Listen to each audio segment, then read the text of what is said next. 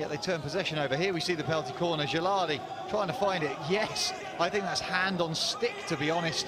I think Arthur van Doren is brave to step inside it